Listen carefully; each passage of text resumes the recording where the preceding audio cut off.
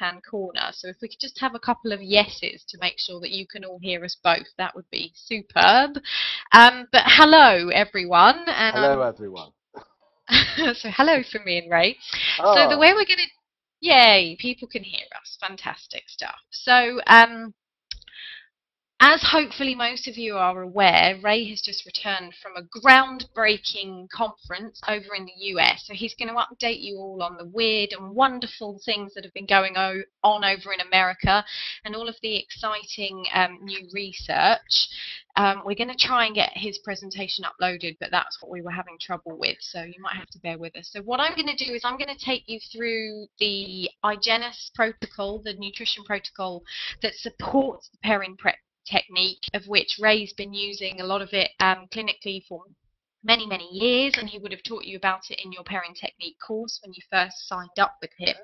So I'm going to run you through that. It should take about half an hour, and then Ray's going to um, take the reins and um, tell you all about what he's been up to um, since you would have met him and the last time he was in contact. So without further ado, I'm going to kick off.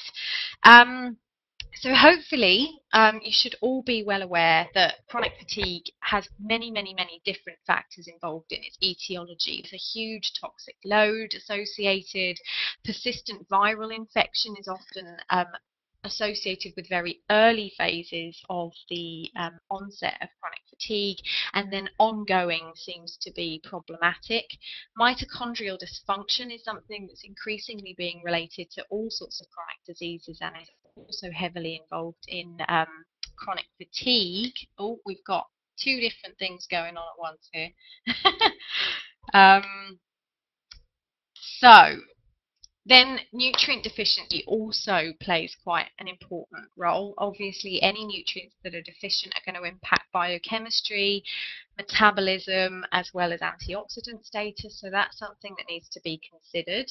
Um, we've got hormonal disturbance as well can play a factor, whether it be thyroid or adrenal problems that then go on to contribute to chronic fatigue and um, further instill fatigue symptoms.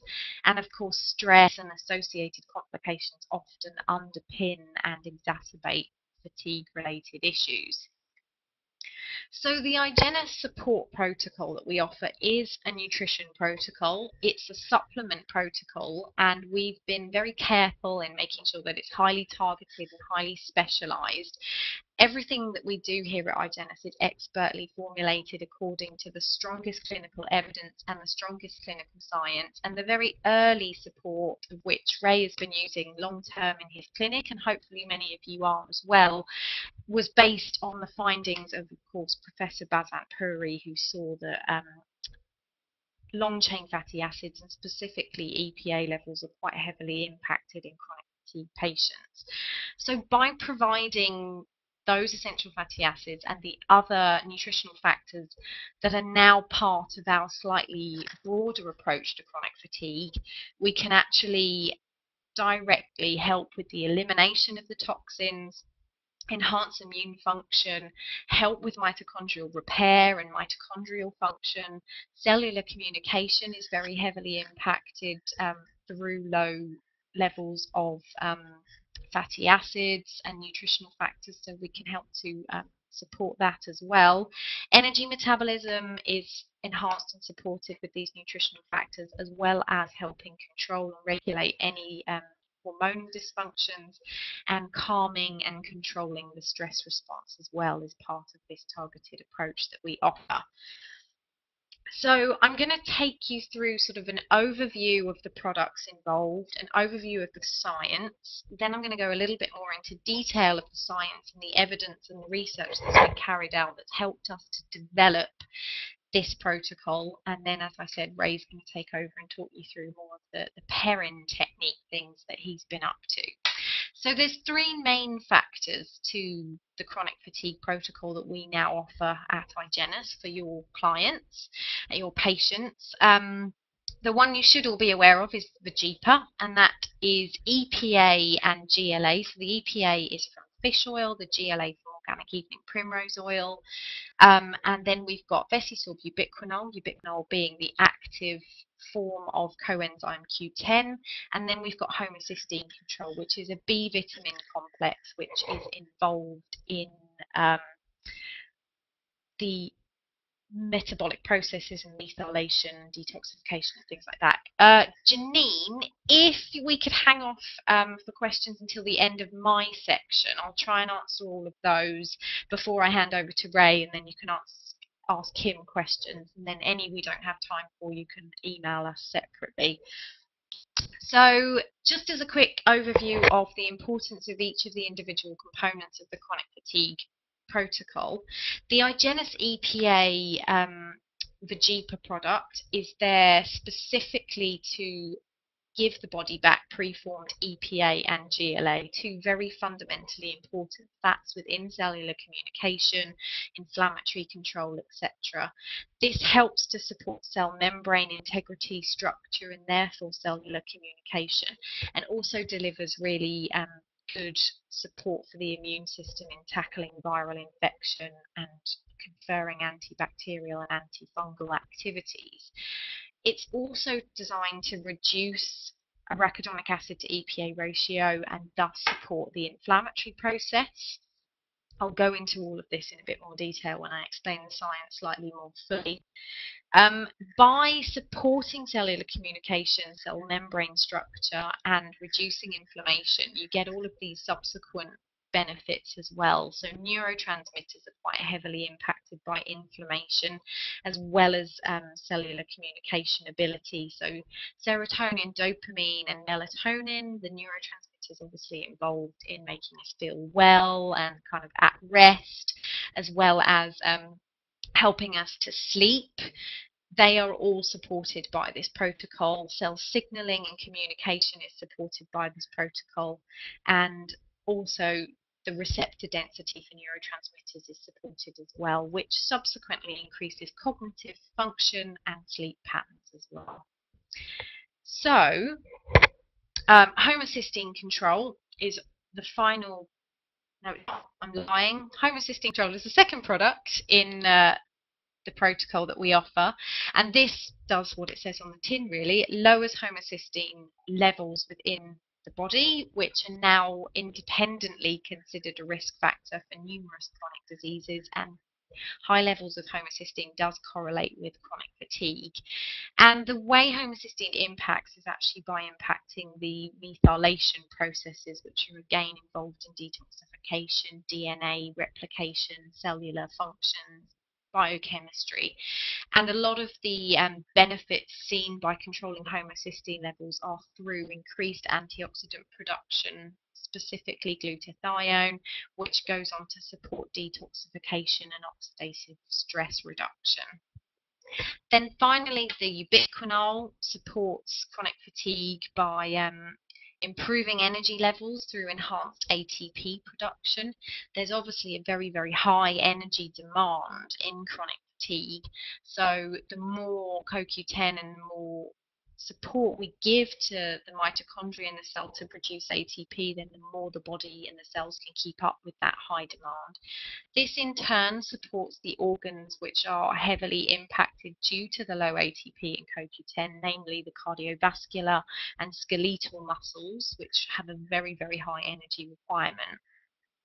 But coenzyme Q10, specifically in the form of ubiquinol, is also a very potent antioxidant, so really helpful in reducing the oxidative stress and toxic um, load associated with chronic fatigue. So there's, there's obviously the, the, free radical scavenging there that um, the antioxidant capacity of ubiquinol offers. So just up front, so that you sort of get this message nice and early, this is the recommended dosing for the Igennus protocol, we do recommend, and it seems to be the amount that most people respond to in the initial phases of treatment, about eight capsules of the Vegepa daily for the initial phases of treatment. That's given in combination with one capsule of the Vesisorb ubiquinol, delivering a therapeutic dose of 100 milligrams of CoQ10 and then three capsules of the homocysteine control. Now, this duration of six months is very much dependent on the person, their level of response. Obviously, you're doing this in combination with the Perrin technique. So, depending on the combined therapeutic approach, other nutritional diet, lifestyle factors, etc., that you're doing, you need to to really kind of consider when it's right to start reducing dose. And I would recommend that once people feel as though there's a, a level of improvement that they're happy with and a level of improvement that you're happy with, that you start to reduce capsules sort of on a one capsule maximum every couple of weeks, ideally every month, and just reduce one supplement at a time. So if anything suddenly starts to worsen, you can pinpoint exactly what that is. But ultimately, we do encourage that with addressing all of the factors associated with chronic fatigue, progression, severity, and onset, that you can reduce the dosage of this down.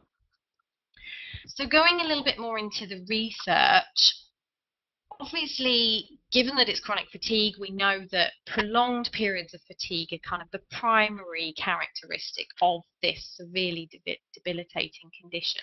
But there are a number of other symptoms as well, which I'm sure you're all very familiar with, namely poor concentration, decreased memory. I know many chronic fatigue clients of mine actually report um, brain fog, which is something that's very commonly used as a term in this uh, condition, but also physical problems as well. So most chronic fatigue patients will experience pains and aches of the joints and the muscles, as well as insomnia and quite often um, digestive problems as well.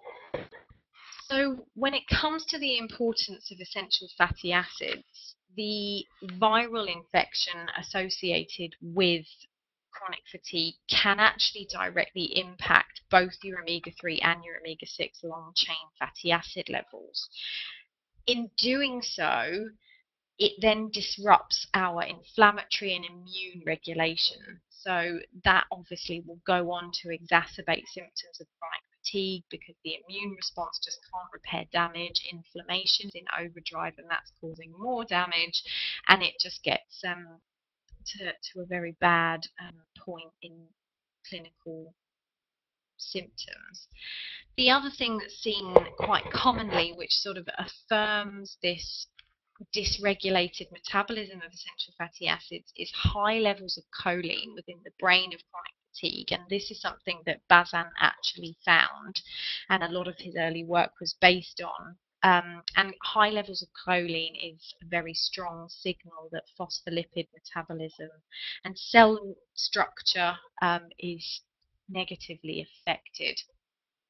So in terms of homocysteine and CoQ10, research-wise, mitochondrial dysfunction and low levels of CoQ10 are consistently being observed in chronic fatigue, which will of course go on to lead to very low energy supply to any muscle within the body and any function within the body indeed, and this increases symptom load and severity. There's also very, very strong levels of oxidative stress associated with chronic fatigue, be that from environmental or emotional stress or toxic load. Um, and that can actually directly block the methylation cycle. And this is why we see high levels of homocysteine in chronic fatigue patients. Obviously, the blockage of the methylation cycle, as previously mentioned, goes on to reduce levels of the antioxidant glutathione, which further exacerbates the oxidative stress problem in addition to low levels of CoQ10 impacting energy and low levels of glutathione impacting um, oxidative stress, because you don't have the antioxidants to control it, there's actually a shift in the immune response which can further exacerbate, and I'll explain that in a little more detail in a moment. Okay, so delving slightly more into the detailed depths of the research, every single factor that is exacerbated by a symptom or a contributor of chronic fatigue will on its own initiate and instigate fatigue and somatic related symptoms of chronic fatigue. So any levels of inflammation within the body make us feel fatigued, immune related pathways that are in um, overstimulation due to viral load or anything give us fatigue. And of course, low levels of antioxidant means we can't repair damage from oxidative stress that we could quite naturally otherwise cope with. So we know that there are numerous factors that contribute to the fatigue, and then obviously there are things going on in CFS that make it worse. Viral infection, as I mentioned before, the way it disrupts polyunsaturated fatty acid synthesis is through directly inhibiting delta 6 desaturase, which is a fundamental enzyme involved in the metabolism of short chain through to long chain fat. So people who aren't having a diet rich in long chain fats, both from plant um, sources for the omega-6 and animal and marine sources for omega-3s and omega-6s are going to see that if their CFS etiology is based on infection from virus, that this delta-6 desaturase is heavily impacted because the capacity to create the long chain fats that make up our cell membranes and then control the immune and inflammatory pathways are so heavily impacted in chronic fatigue, this will have um, serious impact on the cellular communication capacity. And the eicosanoids themselves that are derived from polyunsaturated fatty acids are not actually able to be produced, and that's why it goes on to have those immune impacts. Um, going slightly more into depth of the choline side of things, just for an understanding, what was observed in chronic fatigue was that actually the hypothalamus tends to be in overdrive. So you get this huge autonomic nervous system stimulation that just ticks and ticks and ticks. And the main neurotransmitter for the autonomic nervous system is acetylcholine. Obviously, if that's been pumped out left, right, and center by the hypothalamus, then you're going to need to degrade and break down and recycle that, at which point you get acetate choline. Now, traditionally, um, when everything is in harmony within the body, the excess free choline swimming around is mopped up by long chain fatty acids and shorter chain fatty acids and turned into phospholipids.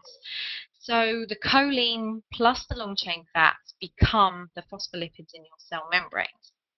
If you've got very, very high free fat free choline, this is obviously signaling that you don't have the fatty acids to mop that up and is obviously um, a very clear indicator that something's going quite wrong there. So the choline itself being quite high within the basal ganglia and the cortex isn't necessarily problematic, it's what it's telling us that's problematic. So it's quite a useful uh, biomarker of poor fatty acid status and metabolism. So this just uh, goes into a little bit more depth visually of the metabolism of the fatty acids to help you really to kind of see why this can be so problematic. So you've got your omega-3 pathways on the right and the omega-6 on the left. And the very first enzyme involved in this conversion process through to the longer chain fats that make up the cell structure, that do all of the hard work within cellular communication and immune control, require delta 6 desaturase to actually be created. And you can see from both the left and the right columns there the inhibitors of delta 6 desaturase and the cofactors required for delta 6 to function effectively means there are so many different factors, many of which are probably quite common in chronic fatigue patients that are going to exacerbate any viral reduction in delta 6 desaturase that's being seen. So B vitamins very important there from a dietary approach, getting good leafy green vegetables rather than relying on grains, but also um, magnesium, zinc, and selenium very important. They're traditionally dietary factors that we're seeing more and more depleted in modern um, modern foods. Um, and then, of course, on the left there, the inhibiting factors. Many chronic fatigue patients may already be on a number of different drugs. Because of low energy levels, they're likely to have poor nutrient status because they're craving foods that give them high hits of energy. Many are very good with their diet, but still they may just need that extra boost to, to reset whatever metabolic processes aren't quite going the way they should. So many of you might be thinking and have probably questioned in the past why would we be using EPA only fish oils? And the reason, there are two major reasons. One being this arachidonic acid to EPA ratio. So on the, the previous slide there, you saw the omega-3 and the omega-6 pathways, but actually it's really these two that come into play when we're talking about controlling inflammation and controlling um, eicosanoid and immune related response to viral stress load toxins etc so what we see is that although the omega-3 to 6 ratio is very very important because of our modern lifestyles because of our modern diets EPA levels in comparison to arachidonic acid are very, very, very, very low. So the arachidonic acid is the main driver of the inflammatory response. It also makes our cells very stiff, so it reduces capacity for effective communication. So what we need to do is directly restore EPA levels to balance out this arachidonic acid. Now DHA, although very important for cell structure, doesn't have the same interaction and the same relationship with arachidonic acid. EPA actually can a directly displace arachidonic acid from cell membranes, therefore reducing the pro-inflammatory eicosanoids derived from arachidonic acid. But EPA will also reduce the function of the enzyme that releases arachidonic acid into circulation. So it's a double whammy approach, whereas DHA doesn't have that relationship. We also see in um, supplementation that for some reason, I'm still not quite 100% sure why, but due to the structure of the fats, the concentrated fish oil fats in a supplement versus uh, just from fish, when DHA is present in the supplement with EPA, it seems to be preferentially concentrated and absorbed after digestion. So actually, if you're taking an EPA-DHA combo, the cells are likely to be further reduced and depleted of EPA because DHA will be preferentially um, concentrated and taken up into the cells there. The problem that that has is that obviously we're trying to directly increase EPA levels.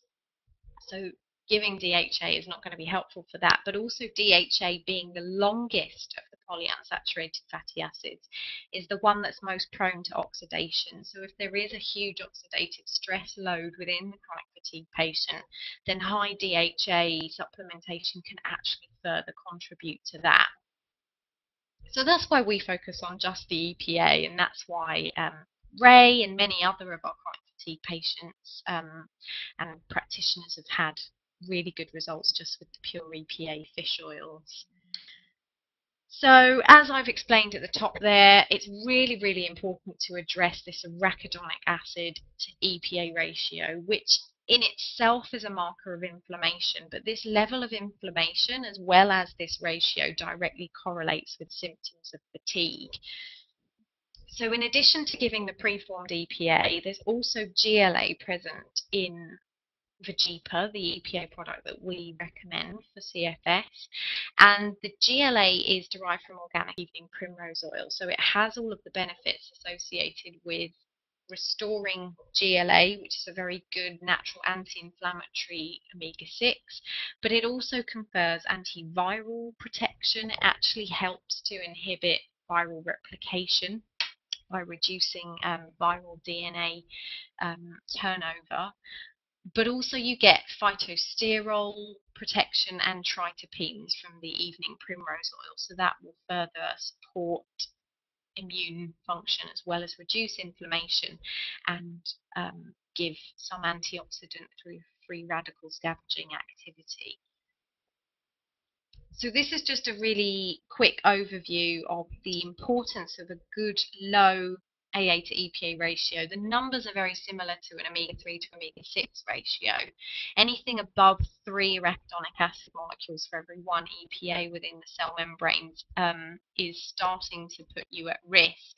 And just to put this into context, lots of recent studies done um, in various different disease states when they compare healthy controls with um, symptomatic people, they look at their AA to EPA ratio, and many of the symptomatic um, people are in excess of 20 to 1, sometimes even up to 30, 40 to 1 in terms of AA to EPA.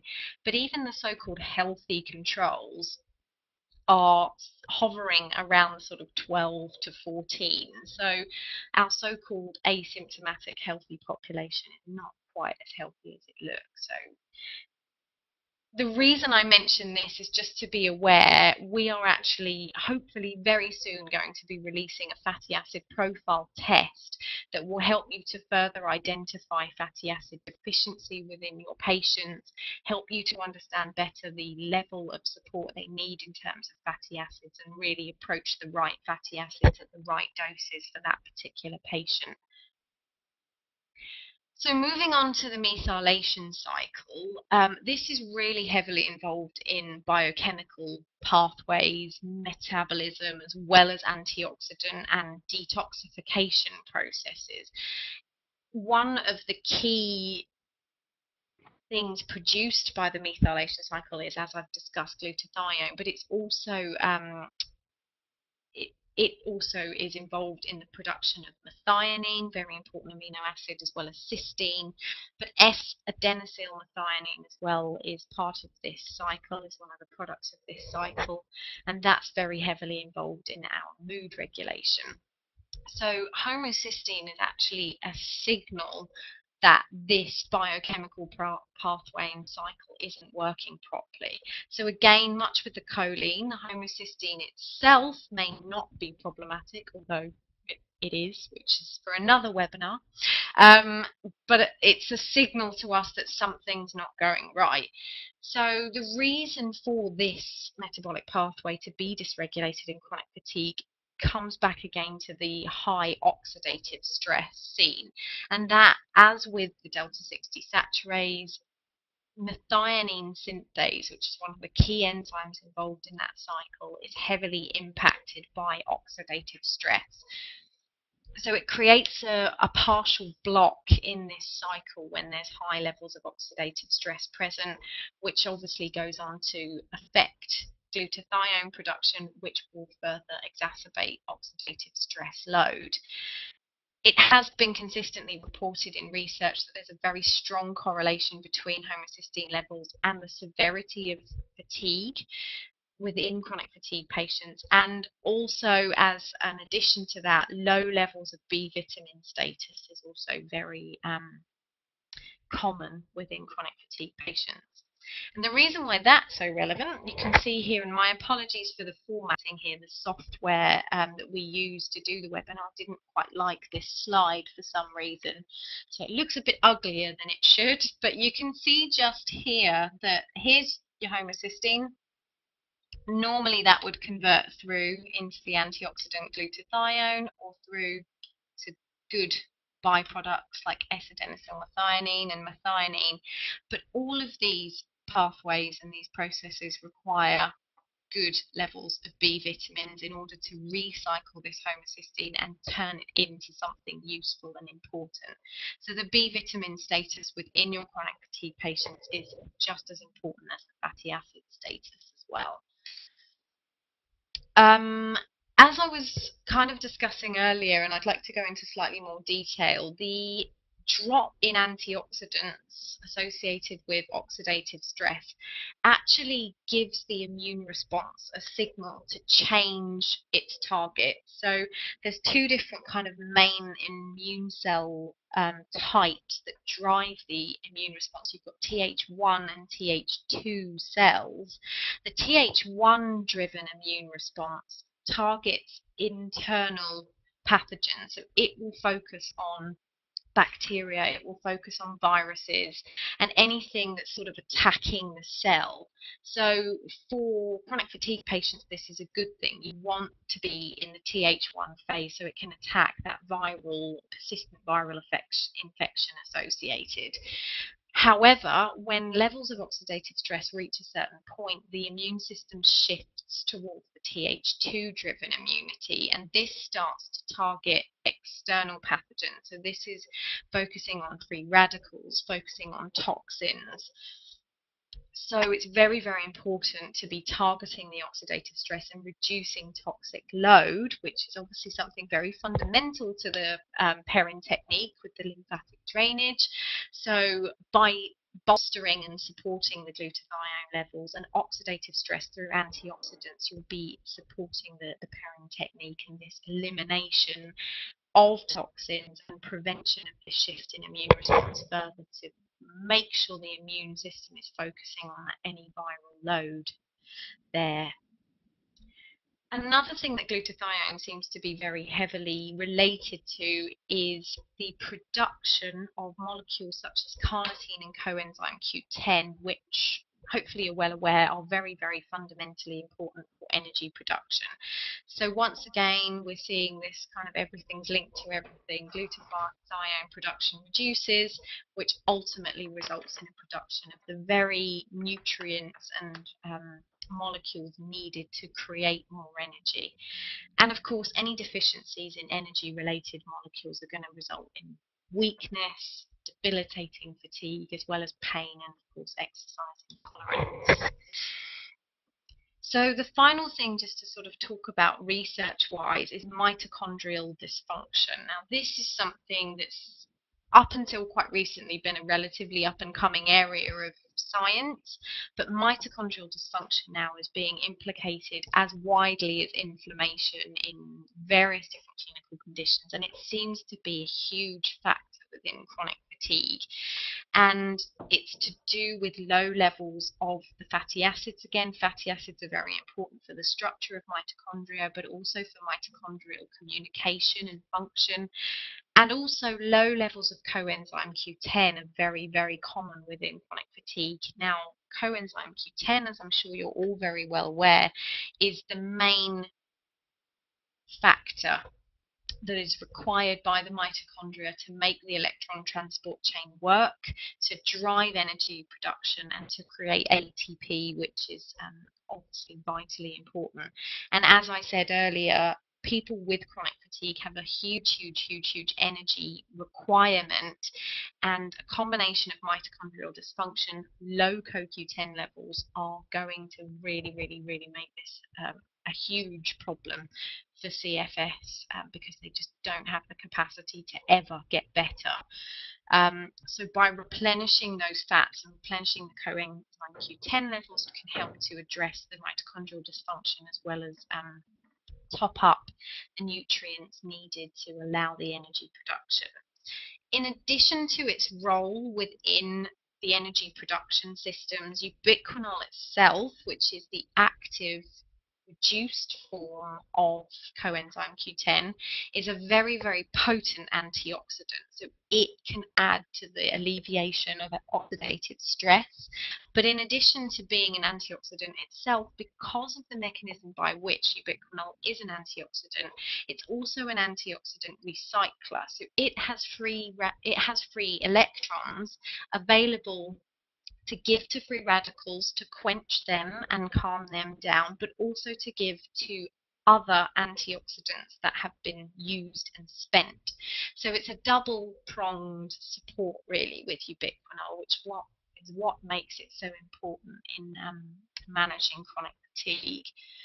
So you can just see here a visual of um, how CoQ10 works. Basically, there are two forms of CoQ10, ubiquinone, ubiquinol, and it constantly flicks between the two. So when it has spare electrons, it will donate them to either a free radical or a spent antioxidant to allow um, control via reduction of oxidative stress, and then it flicks back to the ubiquinone form. Then it will get new electrons which turns it back into ubiquinol. But the flicking between ubiquinol and ubiquinone requires selenium. So it's very, very important if you are using a ubiquinone supplement um, that selenium is present at good levels within your support protocol, which is why at Igennus we focus very much on highly bioavailable ubiquinol to make sure that overcoming any of those problems associated with low um, selenium there.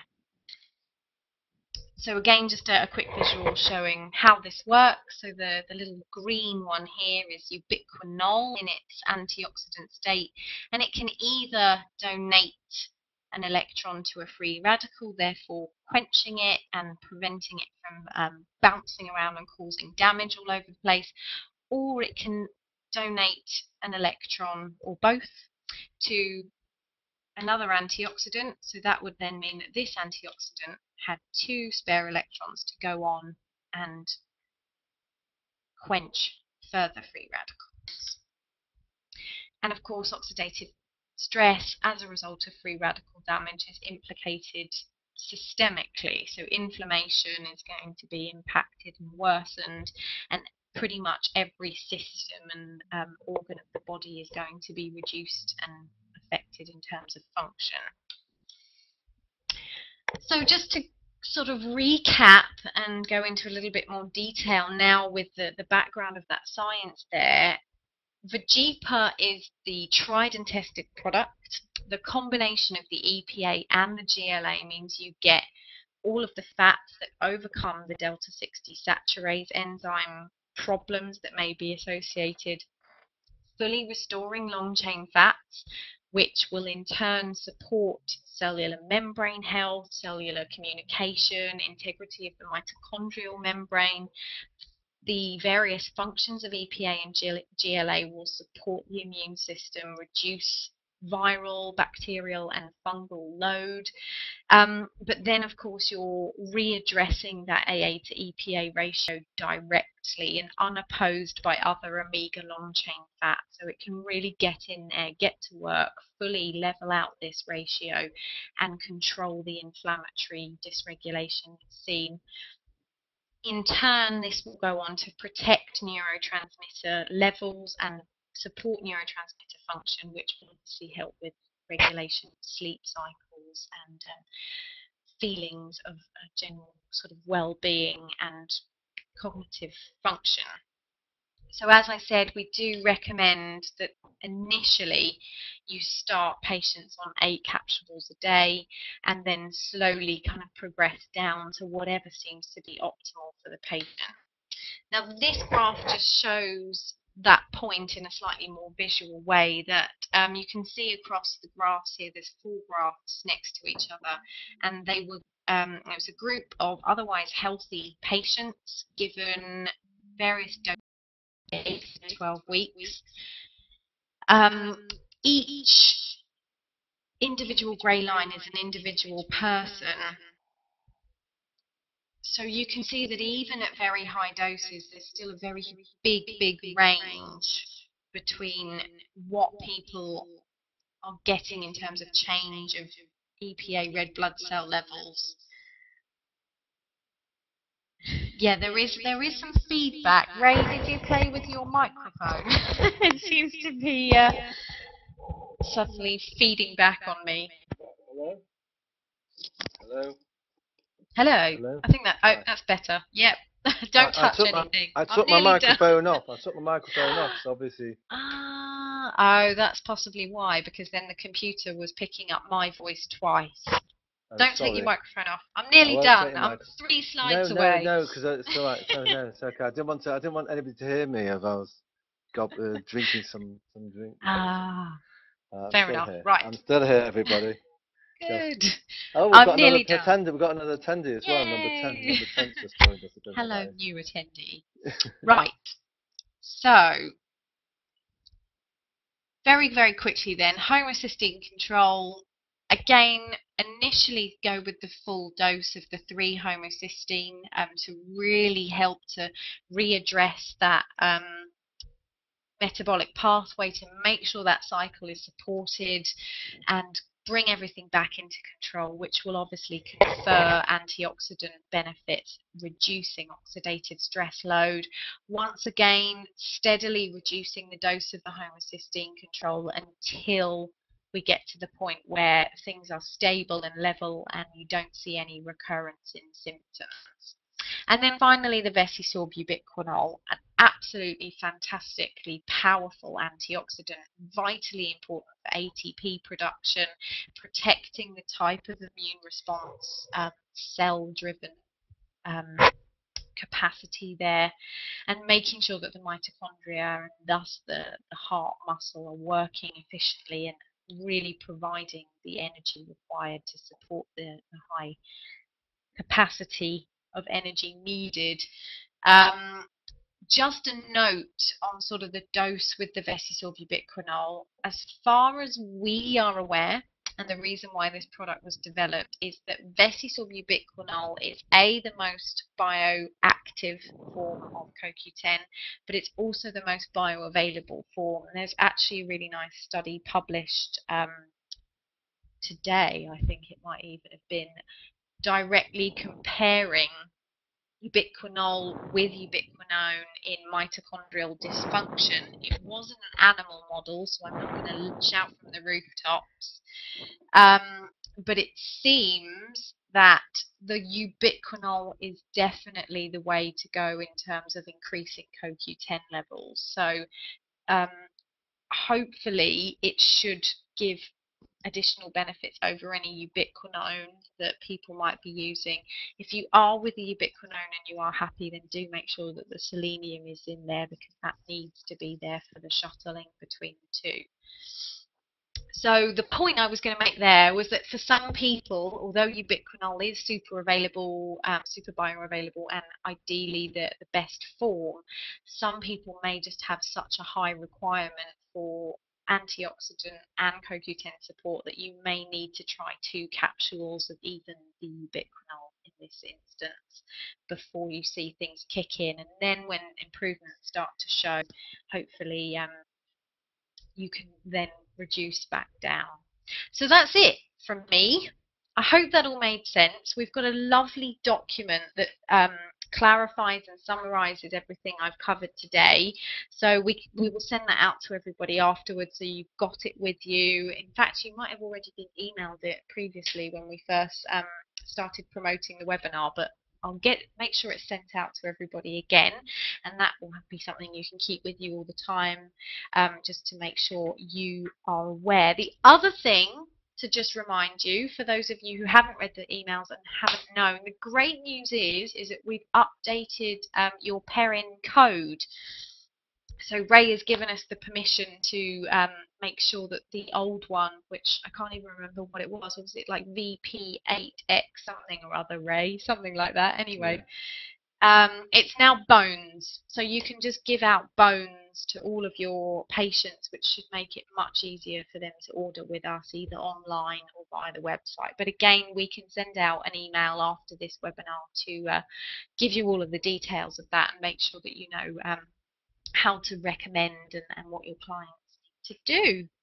So, are there any questions um, immediately for me, there are my contact details as well as Dr. Nina Bailey's details, um, who's sort of very, very important in the development of all of these products and the nutrition protocol. So do please feel free to give either one of us a call or email us with questions. Um, if there are no immediate concerns or queries, I will hand you over with pleasure to Ray, who's going to tell you all of the wonderful things he's been doing. Uh, have we got the the um, lectures working yet? The lecture working or not? I don't know. Let's just see. My apologies, everybody, for aha, yes, yay! Oh, oh wow. We have. Oh, fantastic! So here we go. Do you like the new colour scheme? You... I don't know if you like the new colour scheme. I had enough of blue and yellow. Although, although I just had a patient in today who was a teacher, she said, we've been told that blue and uh, yellow with a blue background is the best.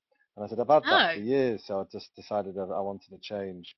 So I hope you all like a new colour scheme just for this one anyway. Okay, right. Am I, am I, am I ready to go? You're good to go, Ray. Are you Right. able just test that you control. can click the next button at the bottom? Let's just see. Does that work next, for you? next, next, next is over there. Yeah. Yeah, it works. Good. Right, Okay. Fire okay. away. Fire away. Right. Well, I'll just go back to the previous slide. As you see, uh, welcome everybody, all 10 of you. Um, and uh, that I'll probably just go through it all and then wait for questions at the end, uh, if that's better. Or you can sort of chat, send some questions if it's really urgent before. But um, these are the latest findings. Um, uh, well, it's latest findings from our perspective anyway. Um, the IACFS conference um, was held in San Francisco, but the day before that, um, Stanford University, who were un- who were under the auspices uh, under the wonderful directorship of uh, Jose Montoya. Professor Montoya is the head of one of the professors of medicine at Stanford. And Stanford, for any of you who don't realize, is probably, I would say, without, without, I don't think it's got a, uh, anybody close to it, but I would say it's a possibly the, or I would say probably the, um, the most um, advanced medical research establishment in the world. I, I think I can say that. They've got so much facilities, they've got so much funding, um, and they, anything goes really. Whatever they want to do, they'll do without even worrying about medical research grants and goodness knows what else. So um, Jose Montoya runs the show, and um, he was a co-host for the international conference in San Francisco. But the day before, they put on their own symposium. And I went along to it with together with um, uh, a chap I met in San Francisco, and um, we went we went along with a few stu- a couple of students who came from from who were uh, in from uh, Florida, and they and they were under the guidance of uh, these two students who came with us in the car were under the guidance of Nancy Klimas. Now Nancy Klimas is one of the top immunologists involved in ME. She's been involved in ME for 20 odd 20 odd years, the same uh, 25 years really, the same uh, time I have.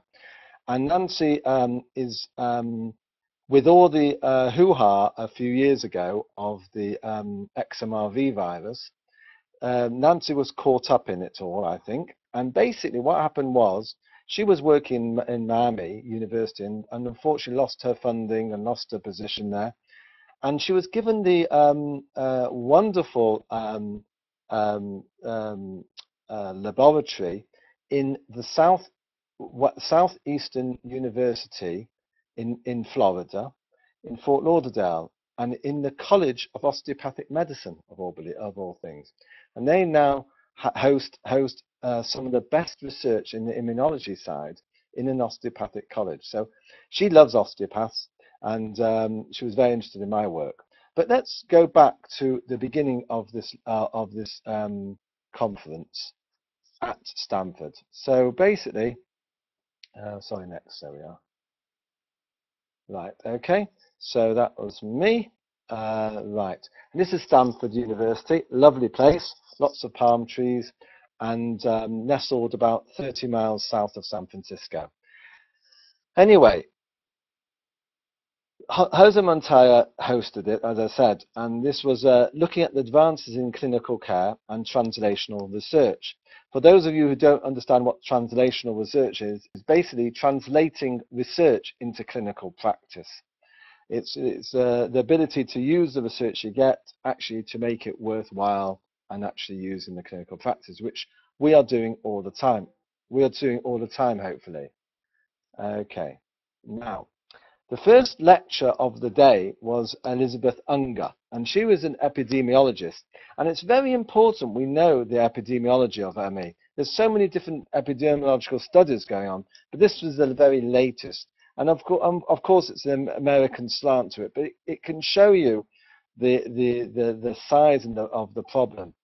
But anyway, what they found is that most of the ME patients they were seeing were were 40 to 50 year olds. Most were women, and we know this already. They've got around three to four to one. So it's somewhere around um, three and a half to one, really. Um, and this is what we really see in clinic. Um, And we're seeing, uh, and there's a reason for it, which we've gone through before, but there's even more reason for it. The reason what we've always explained is because of the, as you know, with the, with um, the work we've been doing on the lymphatics, the the women's lymphatics in the in the breast tissue is much more enhanced, and their hormonal system is much more complex, and therefore any hormonal problem is going to have a major effect on the hypothalamus, and the lymphatics obviously there's much more engorgement in the breast tissue, and that's the main reason why women have a have a problem with to men. But there's another reason which I'll talk to you shortly about. In the USA, the highest the highest in, in, in ethnic minority groups, interesting enough, and most patients are ill for over five years. This, not, this is very important because you'll hear all the time from doctors who have very little knowledge of ME, oh, it will blow over in two years. But most patients are ill for over five years, and that's very important. And only 50% of the Americans, because it's all private medical care, seek medical care. And only 16% are actually diagnosed. So it's interesting that. Um, factors associated with CFSME are three major factors, infections, stresses and genetics. And again, this is what I've talked about all the way through my work, the different stress factors um, and the different infections that hit the patient. And of course, there's a genetic predisposition to it as well. Now, the first of major, major lectures was by Dr. Jared Younger, who's a professor of anesthesiology And I managed to say that because it's uh, what we call anesthetics. And Jared gave this amazing lecture, which I actually I had a bit of a, a hint that they were going to be talking about this anyway, because uh, Stanford are famous for discovering cytokines in the brain in ME. And they found 13 different cytokines found there. And the most important one, and they were watching the daily fluctuations. And in, in Jared's um, lecture, he showed many different uh, slides of different cytokines, different inflammatory um, in, uh, inflammatory toxins in the brain that mimicked the symptoms of ME. So as the cytokines became um, more, prolifer uh, more proliferated, then the symptoms of ME worsened. And as the and as there was less cytokine uh, uh, profiles in the brain, the, the symptoms got better. So it was incredibly uh, how it followed. But the one that followed almost exact was leptin. Now, leptin is a what he showed was primes the microglia more than any other cytokine associated with CFSME. If you remember my work, I talk all about astrocytes, the microglia that that that that that cytokines attack and toxins attack these microglia, and leptin attacks these microglia more than any other cytokine associated with CFSME. And this is what they believed why leptin mimics exactly. It's the, it's the microglia. Leptin is a mediator of long-term regulation of energy balance, suppressing food intake and thereby inducing weight loss. Now, in obese patients, you'd think that there'd be less leptin, that's why they're obese. But no, what happens is they found there's higher levels of of, of, of the hormone leptin. And because obese patients are actually leptin resistant, so it doesn't affect them. But what leptin does is it, it, it, it uh, is very attracted to fat and microglia are lots of fat, fat soluble molecules there, or, or fat, fatty molecules that allow the leptin in. And what they don't understand is why the leptin stays there. Why is it stuck there? Why doesn't it come out? Well, all these cytokines are large protein molecules and they need the drainage. And remember the work that was done in, in Rochester University that showed that there was a microglial system, what, uh, what they called the glymphatic system, proving that, that the, the perivascular space actually occurs. And this was discovered two years ago in Rochester. They didn't make the connection. But I went along after to Jared and I said, Have you heard about the glial lymphatic system? And he said, Yes, have you made any connections? And I showed him my work and he was over the moon. He said, This explains everything. And he then spent the next e evening having dinner with me, going through every inch of my work. And he was very excited.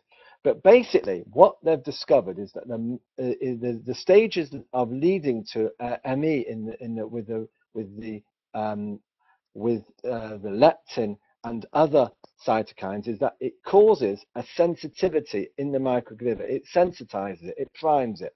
Microglia are maintained or hypersensitized to a prime state, they call it, and it's and then a triggering event, event happens, stress or infection, as we know before, there's the triggers. And it's interesting they call it triggering effect rather than the cause. It's not the cause, it's a trigger. Activates this hypersensitive microglia. The microglia then causes uh, trans, it, it uh, changes into an activated pro-inflammatory state. So more inflammatory toxins are produced, which causes a more of a multiple, as they say, multiple pro-inflammatory, excitatory, and neurotoxic factors that lead to further and further and further toxins building up in the central nervous system, and they interact with neurons around the body, and then they cause all the symptoms that we know are going wrong with ME. Thus, the whole of the brain that can be affected. But how do they stop it? And they don't know the answer to that. They can do, and they can, they can, they can work on the on the on the triggering effect event. They can work on the infection, and they do antiviral. Um, there's lots of work on the viruses, and uh, especially HHV6 virus, and um, and Jose Montoya talked a lot about that. And they give um, they give uh, uh, a, a different antiviruses like uh, like I mean it's used in this country acyclovir. They use a different type of anti an, antiviral drugs. But the thing is, what they can't do is is work out how to get rid of this this, this toxic overload, and that's that's where I where we come in. And they were really excited about my work for that that point of view. The, remember what I said that the neurotoxicity, the class of glial cells turns of astrocytes, and astrocytes are the main ones that are, are really important in these microglia are capable of phagocytic activity. This capacity is involved in the remodeling of synapses during development, but also may be a, used for engulfing foreign material and is essential in the brain's defense against neurotoxins.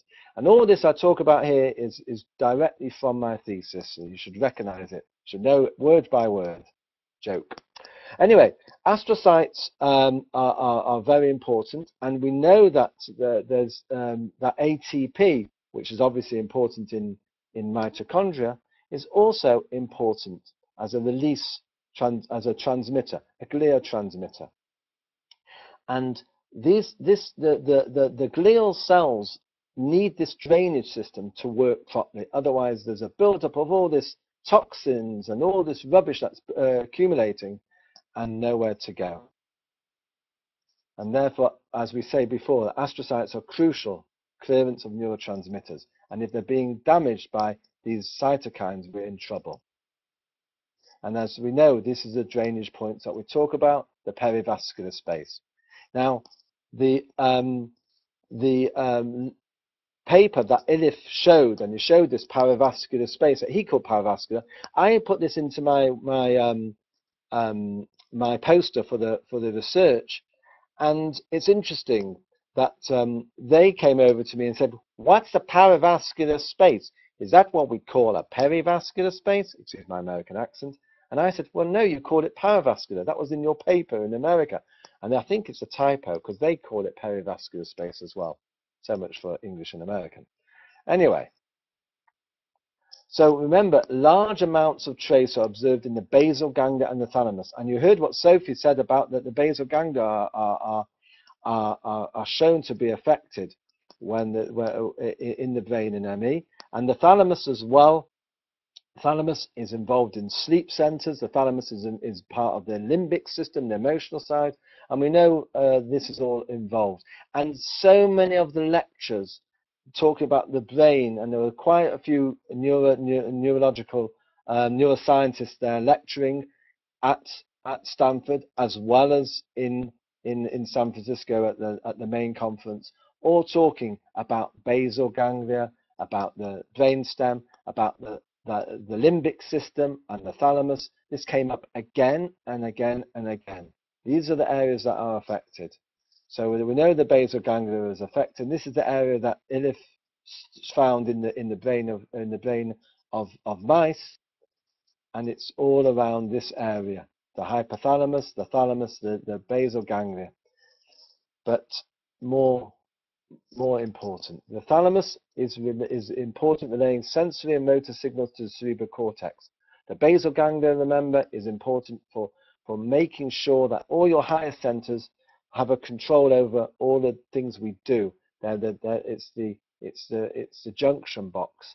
And that junction box in the basal ganglia gets, gets, gets damaged by toxins, then you're going to have major problems. And this is what we see. In the thalamus, the regulation of consciousness, sleep, alertness is affected.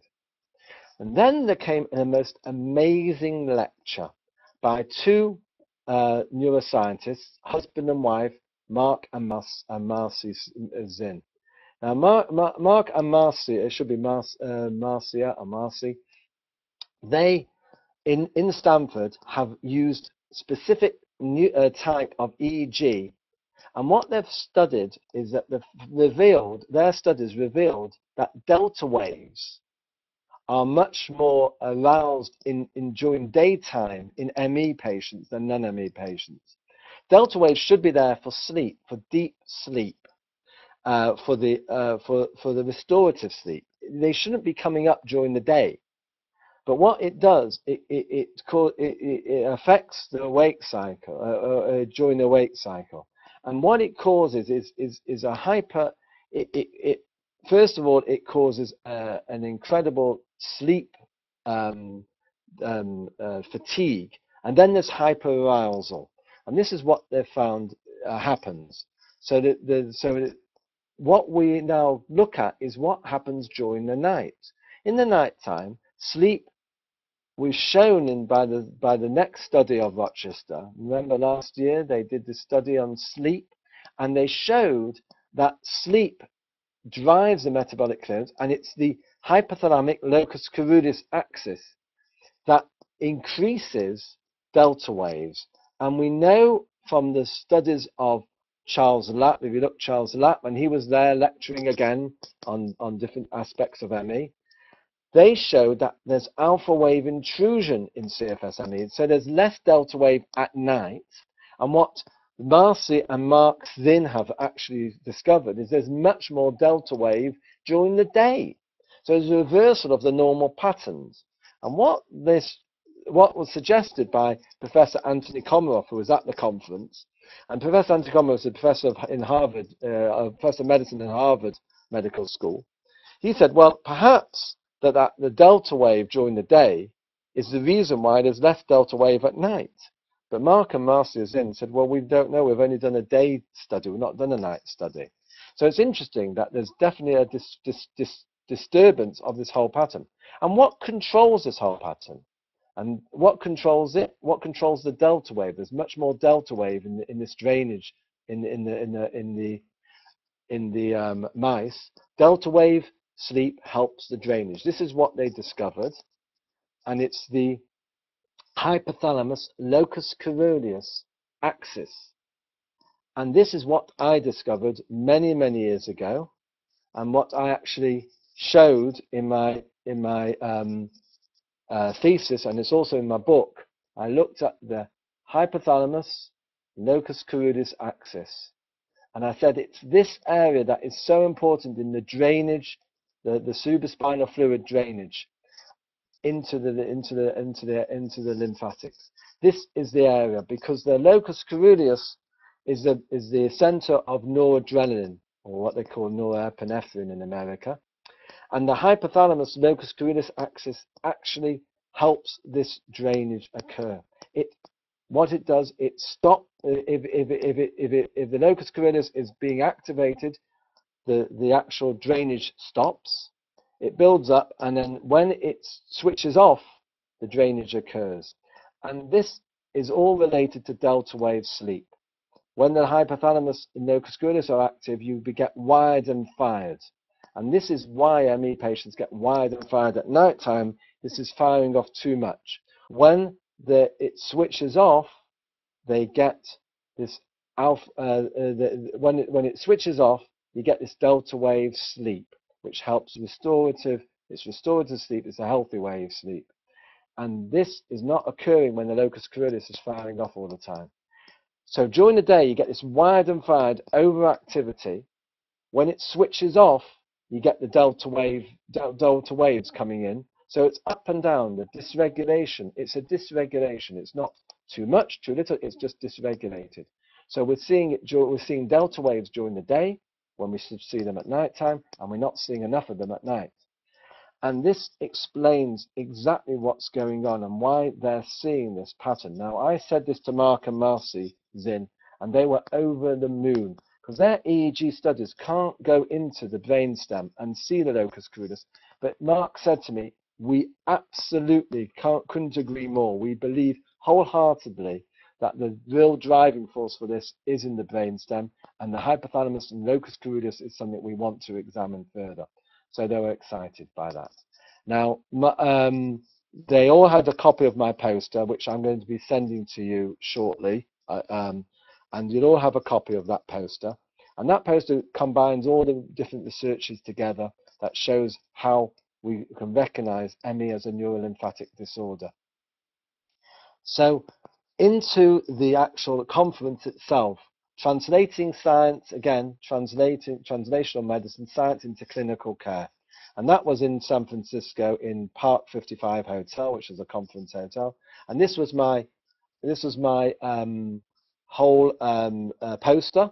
Um, you, I said I will be sending an email to everybody with this in, so hopefully you'll receive this soon. And this poster showed that uh, uh, we, how we can look at ME as a neurolymphatic disorder. One of the most amazing things, before, before we had Peter Rowe, sorry, we'll just go back to the previous slide. Um, this, I had a hundred of these um, A4s produced for the uh, for the conference. They were all gone within a couple of days. They were so interested. Luckily, my poster had prime position just when you walked into the conference hall. So everybody saw my poster. But Jose Montoya, who co-hosted the rest of the conference as well, has, was so interested, he actually has invited me next year to go to Stanford myself and present my findings. So after the research is finished, hopefully in June, we finished June 2015, we start in June this year. I will be able to go to Stanford University to present the findings of the research, but also to show what, what I'm doing. And hopefully they'll take my work a stage further and start doing some, using their wonderful uh, facilities to look into the Perrin technique. That's my hope and prayer. I'm not leaving you all. I'm hopefully going to still stay in England, but if they offer me to work there for a while, I can't, I don't think I'll be able to refuse. But anyway, we'll see. So on with the show. Peter Rowe is what is famous within the whole world of ME. He's, he's the top pediatrician probably in the world involved in ME. He's professor at Johns Hopkins University in Baltimore. And he, is, he said to me, he's been following my work for years. And he said, you'll love my lecture because what he looked at was impaired range of movement in peripheral joints in the spine. And he showed, guess what? That in all the patients who had ME had thoracic spine dysfunction. Surprise, surprise. And he said to me afterwards, I knew you'd enjoy my lecture. So basically, they've done a matched case control study with 48 matched participants, 39 female, the rest male. And he showed without doubt that they all, all the patients, was a statistically valid, very, very major statistically valid um, case study now that shows thoracic spine dysfunction in ME. Just what we discovered, obviously, years ago. If you remember, the thoracic spine was a problem in, in all these patients. Um, and it was a dorsal root ganglion as well that, that was a problem in, in, in that we felt was a problem. And dorsal root ganglionitis was talked about quite heavily. Um, I'll just go back to the, was was talked quite heavily in in in the in their conference because they talked about the the the the, the fatalities and the two post-mortems done um, on Sophia Mirza in the UK that I've talked about before, and Lynn Gilderdale that I also talked about. And they did they had two post-mortems, both showing dorsal root ganglionitis. And they talked about this in the conference about can people die of ME? And they're, they're keeping an open mind, but they're saying that this is a, an area that needs to be uh, looked at. So inflammatory toxins in the spine, inflammatory toxins in the vein are very much the, the, the, the buzzwords at the moment. There was a wonderful lecture from Dr. Jesus Castro, who um, who talked about family aggregation in, in uh, studies in ME, and they basically showed that 13% of all the CFS patients in Spain, where they studied this, 13% of the patients had family history of ME. Some had five or six members of, the, of, of ME in the same family. And this is what I've seen for years. And it's so important because one of my patients, as I might have told you, is a, is a, a lady who's got uh, three boys, all with ME. And they are, the, the social services don't believe that three, three children in the same family can all have ME. They're thinking that she's making them ill. And uh, this study just shows all, all, what I said. And I went over to Jesus afterwards and I say, although I'm Jewish, Jesus, today I believe in Jesus. And he was very amused by that. And I said to him, you've got to send me your, your, all your, all your information because this is going to save splitting a family up. And there is a case coming up soon to actually try and take the children into care. So a study like this in Spain really shows that it does hit families many times. And the American link to ME, obviously, we've got um, obviously Andrew Taylor Still, and there's John Mendez da Costa, who discovered the, the problem in the American Civil War. And there was talk about the history of ME for many years. And the, the, the real beginning of the International Association started when there was an, a break, uh, breakout in, in, in Incline Village in Nevada in, in the 1980s. So it started very similar times to when it was called yuppie flu in the UK. And um, there was uh, a lot of discussion about uh, the, the, the, outbreaks and what, what it actually means. But they, they do appreciate that there's an, uh, an immune problem in patients with ME. And there's also a problem in in uh, in other areas of the of the brain, like the blood-brain barrier. Now, I gave um, after the um, uh, after the conference in America, in California, I went over to New York, and in New York, I was talking to them about the blood-brain barrier and how important the blood-brain barrier is in stopping any large molecules getting through. Well, the thing is, and as you see over here, the astrocytes take a major role in the blood-brain barrier. Anyway, the blood-brain barrier is important for, to stop neurotoxicity, um, and if, if, cytokines get into the brain and they uh, cause problems, then they can affect the, the, the integrity of the blood-brain barrier, but involve in also, as I said, involve uh, damage the integrity of these glial cells, as has been shown by the work done in Stanford. The hypothalamus is obviously a very important role, and the hypothalamus was mentioned numerous times, as well as, as well as, as I said, as well as other uh, other areas of the brain that we talk about. Now, one of the things that was brought up when I was lecturing in New York, I know this is not the conference anymore, but this is very important. I was lecturing to a group of doctors who were osteopathic physicians in New York. And one of them, who is a, is a very well respected um, physician, uh, Gary Ostro, he said to me, Ray, we really appreciate what you're saying, that, that the reason why that we know that the blood-brain barrier allows toxins in because hormones enter the hypothalamus the, with, the bio, with the biofeedback mechanism. And remember, I've said that that is how we know that the blood-brain barrier isn't an intact barrier. And I use the example of insulin being produced by the pancreas, obviously, and then it goes into the into the it goes into the uh, brain, and it it affects the the it's controlled by the hypothalamus, and then messages are sent back to the to the um, to the pancreas, and insulin is reduced or increased um, accordingly. Well, Gary said insulin cannot possibly enter the blood-brain barrier. It's whopping. As you can see there, in Dalton's is a measurement of, of cells, of, of mo molecules, I should say. And it's 5,808 Daltons, whereas water's only 18 Daltons molecular weight. So how can such a huge molecule enter? It's impossible. So I went back to my computer and I found two references. This is one of them, which is a study done in, in, in, in, in King's College London. There's also a study done in, uh, in, in, in New York showing quite categorically, although the, the, the hypothalamus does measure the glucose uh, levels, it does also have receptors for insulin. So insulin does enter the brain. It's whopping, it's massive.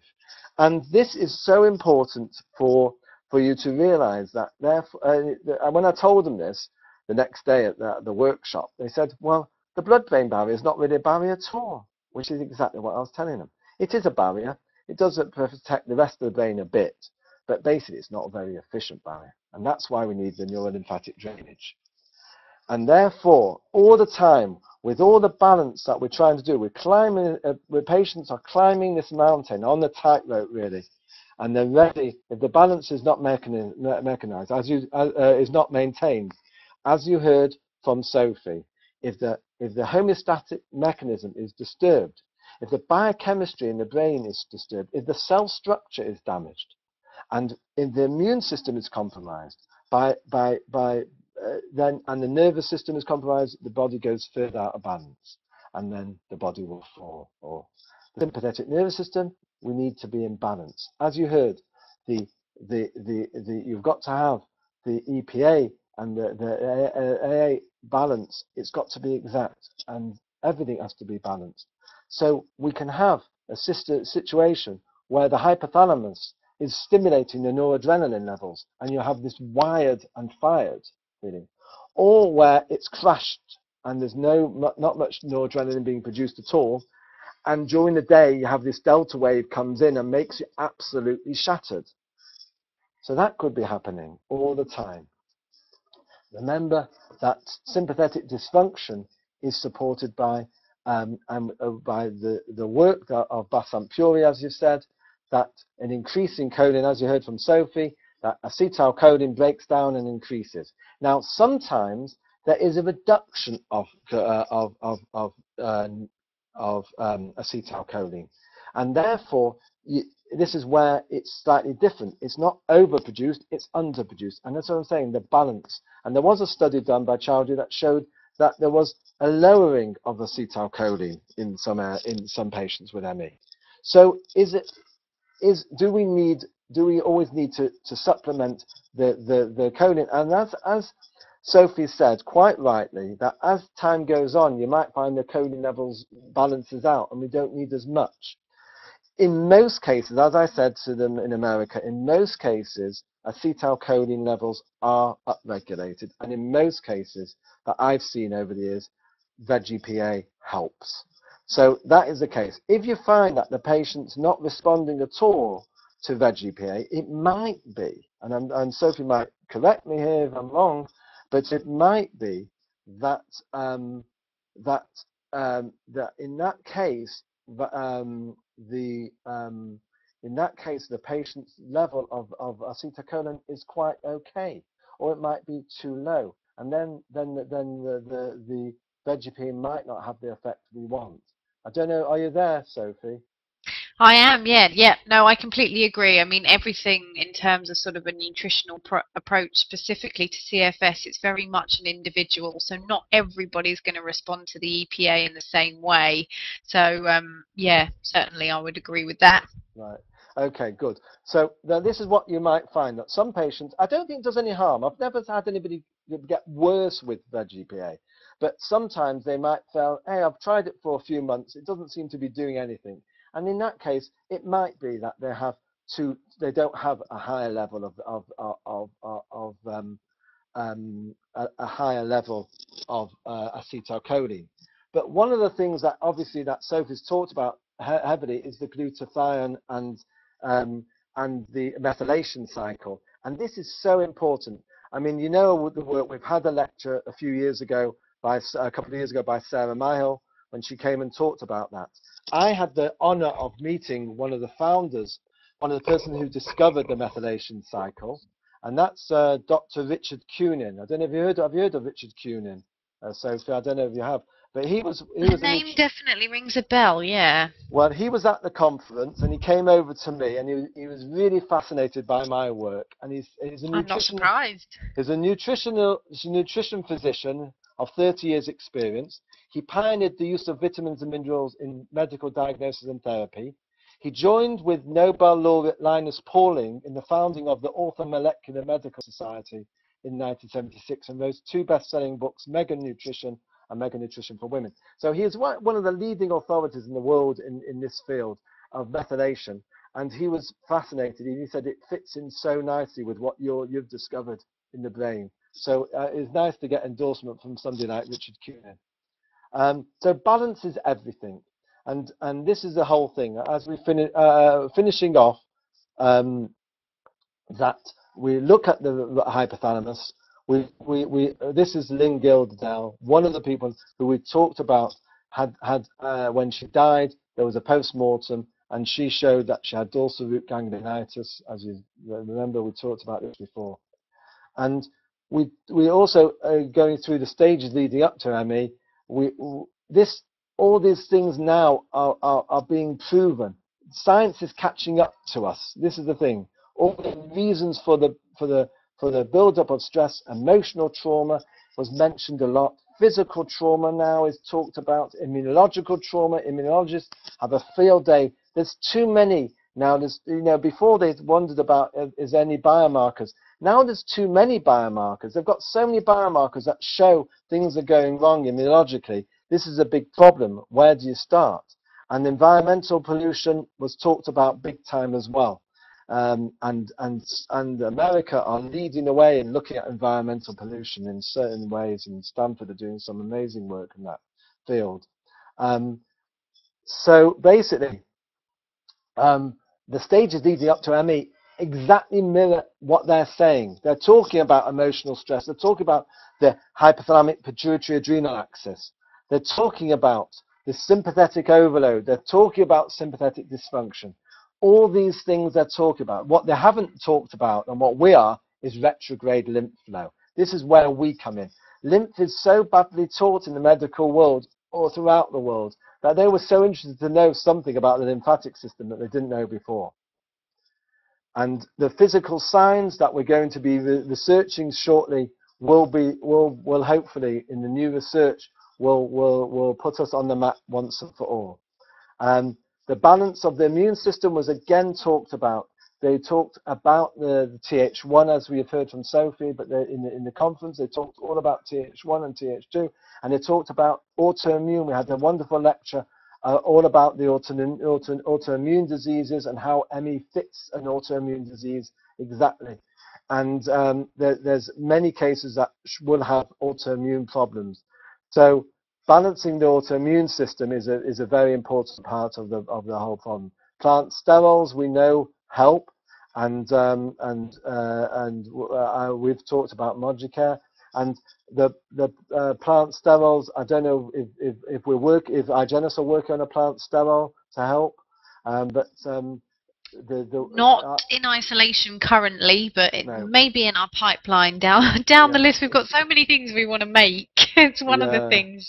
Well, well, there's Modicare is a good plant sterol to use, and um, they they they they they are very into it, into, interested. And this old osteochondrosis, this thoracic spine, as we now know from the work of Peter Rowe, this has now been shown absolutely to exist in many many ME patients. There's a problem in the thoracic spine, and um, going back to the treatment side of things, remember the ME Association survey 2010? Well, I cornered Charles Shepherd, who was the ME Association's, uh, is a scientific officer for uh, ME Association, and he amazingly had um, was was able to um, uh, he amazingly was uh, uh, was able to just ignore all the interest that I was getting, and he sort of said, "Well, we're not so sure." And I said, "I said, Charles, your own survey of 2010, your own survey showed the Perrin technique right up there." And he said, "Well, numbers." I said, "It's not numbers. It's it's it's proportion of not. It's it's it's um it's it's um it's the percentage." And the Perrin technique had over 100, 100 respondents to about 1,000 people at the time using the Perrin technique. That's one in 10. and pacing was like one in one in one in a hundred respondents for that. So one in ten was a really high score, and he he acknowledged that maybe he was a bit harsh and maybe that it is is, is much more significant than he originally said, and he, he did he was he did soften a bit, which is very interesting, um, and that was uh, so he was there, but he saw the interest I got. And, and, uh, and again, I was telling everybody in the conference, it's not just the Perrin technique, Pacing is so important, cofactors, vitamins and minerals, and of course the EPO and the EPA is so important. And reduce toxins when possible. Toxins came, the, the word toxin was mentioned virtually in every lecture we heard.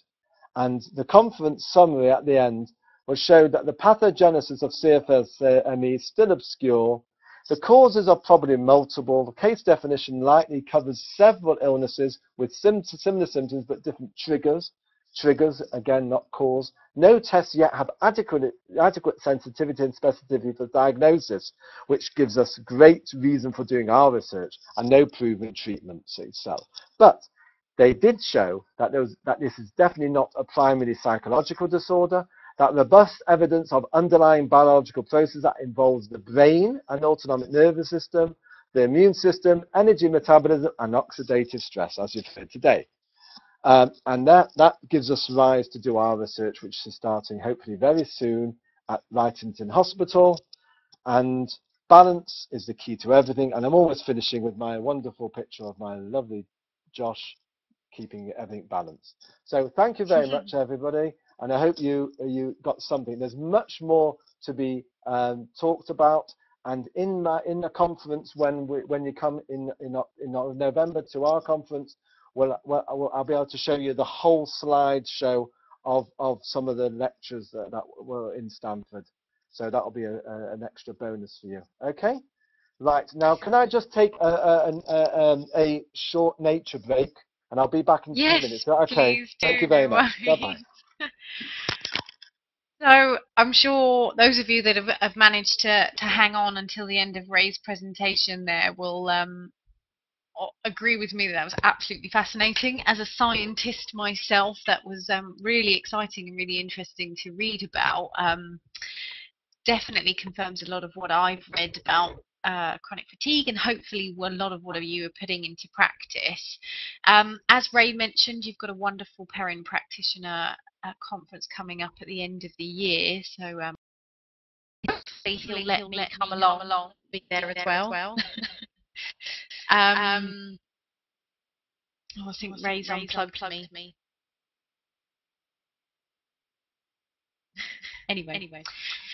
So we'll, so have, we'll to have, to, go, with go with feedback, feedback for a minute. For a minute but, but um, um, until, until Ray comes, Ray back, back, I just, I just say that we, we will offering, offering all, all sorts of support from now, now on. on. So, so, do please keep an eye on your inboxes for Igennus related support. Um, um, and, and Ray, Ray will be emailing, emailing you all as well. So um, um, hopefully, that will, that will be good, good you. Yeah, I'm so sorry about the end. I don't know what happened. Ray's, Ray's, vanished and seems to have um, started echoing. So. Please do get in touch with Ray um, um, if you have any questions, questions for him. him. Otherwise, we'll see you all again soon at the next webinar. webinar. Take care, Take everyone. Care, everyone. Bye. Bye.